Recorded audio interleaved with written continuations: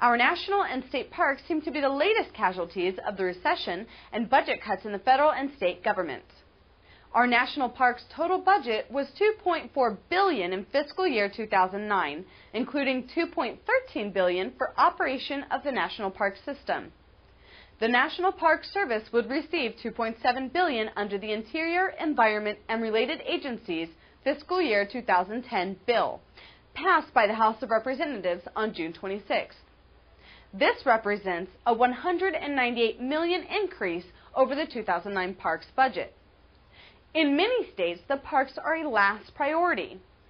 For example, Arizona state parks are closing. Their budget has been reduced by 27% in 2009. Approximately 25 to 30 employees will be laid off throughout the state park system.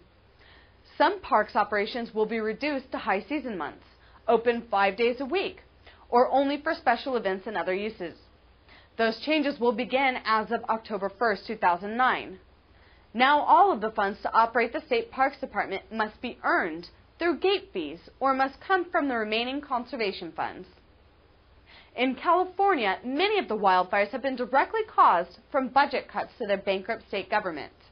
The underbrush and debris, mixed with extreme summer heat, provide plenty of fuel this year for the traditional fire season. California spends over 60 million a year fighting brush fires.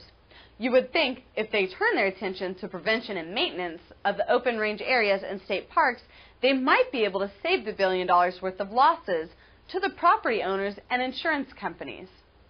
Again, this is Meredith Robertson for HotChicksStockPicks.com.